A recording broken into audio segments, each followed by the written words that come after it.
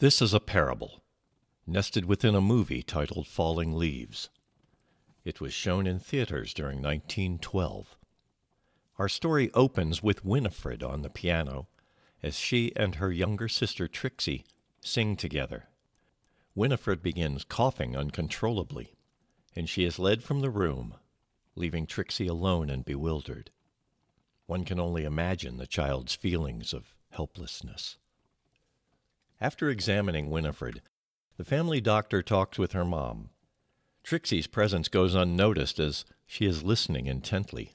She sees the doctor motion towards the garden and hears him say, By the time the last leaf has fallen from the trees, Winifred will have passed away.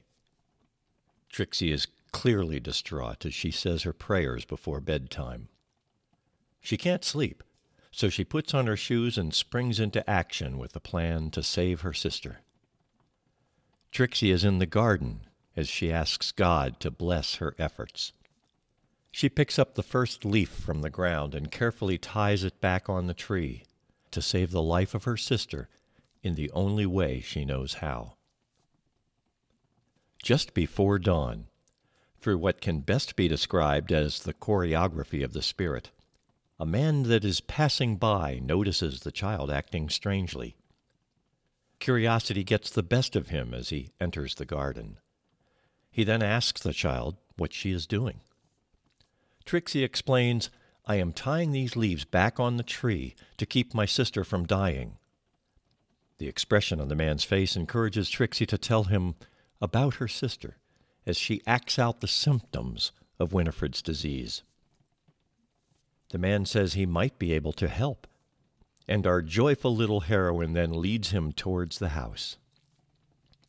The man greets the mother of the girls and hands her a business card that identifies him as a bacteriologist.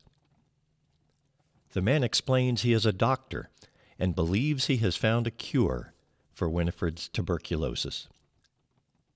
He is introduced to Winifred and explains the treatment. Winifred is ready to try pretty much anything at this point.